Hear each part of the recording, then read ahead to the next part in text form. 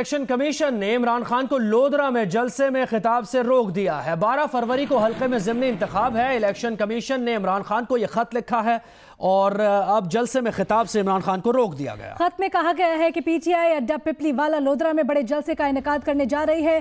PTI के दीगर MNA और दीगर एमपीज इसमें शिरकत अदा कर रहे हैं। इमरान खान जबता अखलाक की खिलाफ वर्जी के मुरतकब न हो। तो है। सियासी जमातें, क़्यादत और उम्मीदवार शफाफ इंतबात के लिए जबता अखलाक की पासदार करेंगी। मजीद बात करते हैं अपनी नुमाइंदा आसिया अंसर से। आसिया, क्या अपडेट्स हैं आपके पास इससे मुतालिक?